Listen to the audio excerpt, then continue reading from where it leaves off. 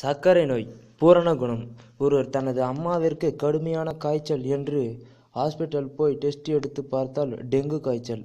பக்கத்தில் மளிகை கடை வைத்திருக்கும் திருநெல்வேலி அண்ணாச்சி நிலவேம்பு கஷாயம் வைத்து ரெண்டு வேளை குடிங்க காய்ச்சல் சரியாகிவிடும் என்று சொன்னார். அவரும் நிலவேம்பு பொடியை கஷாயம் வைத்து மூணு நாள் கொடுத்தார். காய்ச்சல் குணமாகிவிட்டது. கூடவே தன் அம்மாவிற்கு சர்க்கரை நோயால் காலில் பயங்கர எரிச்சல். எப்போது இருக்கும் எரிச்சல்? அது சுத்தம் இல்லையே.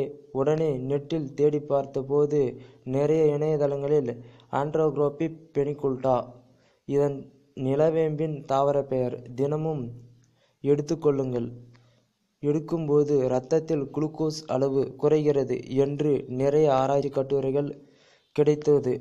மூணு டம்ளர் தண்ணீரில் ஒரு பெரிய டீஸ்பூன் நிலவேம்பு பொடி போட்டு ஒரு டம்ளர் வற்றும் வரை கொதிக்க விட்டு தினமும் காலை ஒருவேளை இரவு ஒருவேளை என ஒன்றரை மாதம்தான் அம்மாவுக்கு கொடுத்ததில் இருநூத்தி தொண்ணூறு அளவு இருந்த சர்க்கரை அளவு நேற்று வெறும் எண்பது. இதில் முக்கிய நல்ல தரமான ஆர நூறு சதவீதம் ஆர்கானிக் நிலவேம்பு பொடியாக இருந்தால் பல நிச்சயம் நிறைய.